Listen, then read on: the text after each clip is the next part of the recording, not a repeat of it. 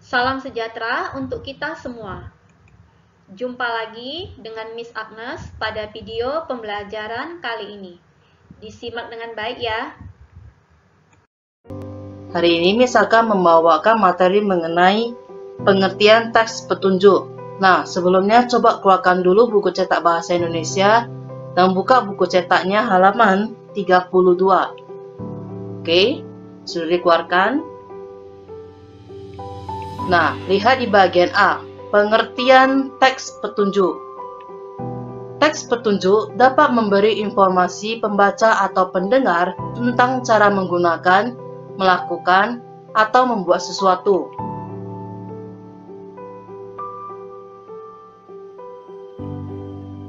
Petunjuk penggunaan adalah teks atau bacaan yang berisi petunjuk atau cara menggunakan, melakukan, atau membuat sesuatu.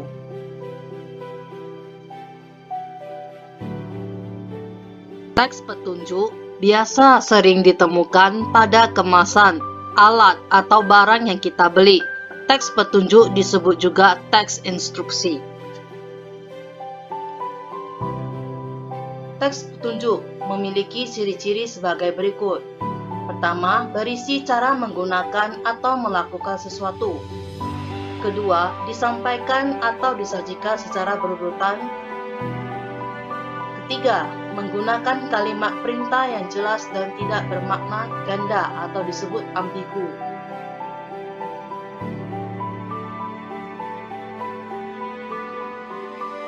Agar lebih memahami teks petunjuk, ayo bacalah teks berikut pada halaman selanjutnya.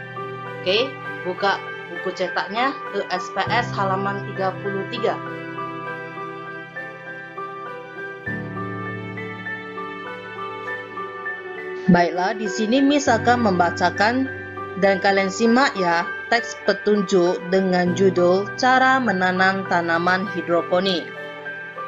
Hidroponik adalah cara budidaya tanaman tanpa menggunakan tanah sebagai media tanamnya. Menanam dengan metode hidroponik dapat menciptakan lingkungan yang sehat. Berikut cara menanam hidroponik. Pertama, siapkan alat dan bahan seperti botol bekas air mineral, sepotong kain bekas, benih tanaman, dan media tanam atau dapat berupa campuran sekam dan pasir kerikil. Dua, potong botol menjadi dua bagian. Ketiga, masukkan potongan kain bekas ke dalam potongan botol nomor dua melalui tutup botolnya seperti yang terlihat pada gambar satu. Oke, kita lihat ya gambar yang satu mana. Nah, ini Oke. Keempat, isilah potongan botol satu dengan air, lalu berilah pupuk. Ikutilah petunjuk cara menggunakan pupuk. Kelima, masukkan potongan botol nomor 2 ke dalam potongan botol nomor 1. Lihat gambar 2. Nah, yang gambar kedua yang mana? Gambar kedua yang ini ya. Oke. Keenam, masukkan media tanam yang telah kamu sediakan.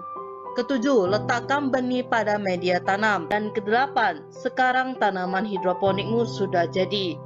Benih akan tumbuh menjadi tanaman baru seperti yang terlihat pada gambar tiga. Gambar yang ketiga mana? Oke, ini ya. Sudah mulai tumbuh. Letakkan tanaman hidroponik di halaman rumah atau digantung di dinding luar rumah.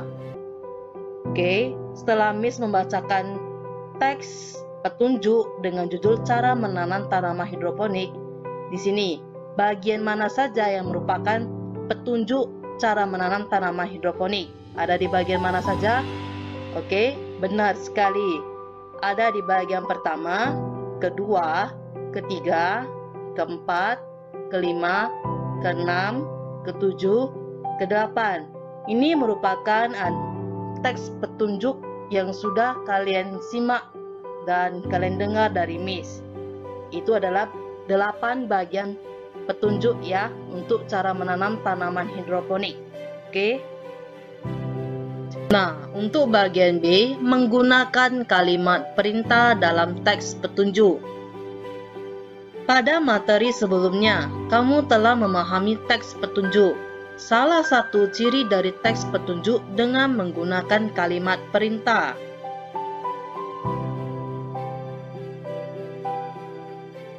Kalimat perintah disebut juga kalimat imperatif.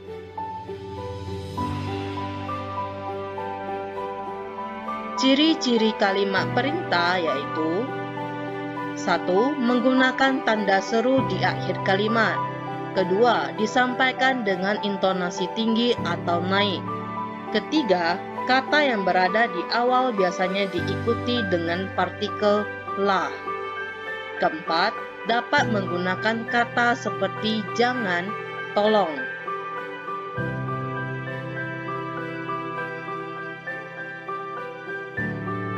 Cobalah kamu perhatikan kalimat-kalimat berikut. 1. Siramlah tanaman agar tidak layu dan kering. Kedua, potonglah padi bersama batangnya. Ketiga, gilinglah padi menjadi beras.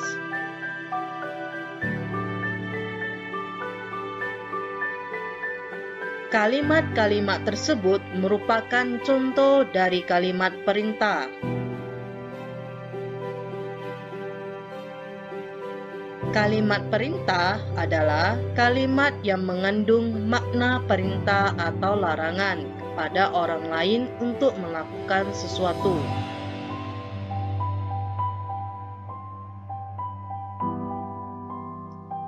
Kalimat ini dapat digunakan ketika berbicara kepada teman sebaya, teman akrab, saudara, atau orang lain yang lebih muda. Baiklah, sampai di sini dulu video pembelajaran hari ini. Sampai jumpa di video pembelajaran selanjutnya ya. Ingat rajin belajar, jaga kesehatan ya. Bye bye.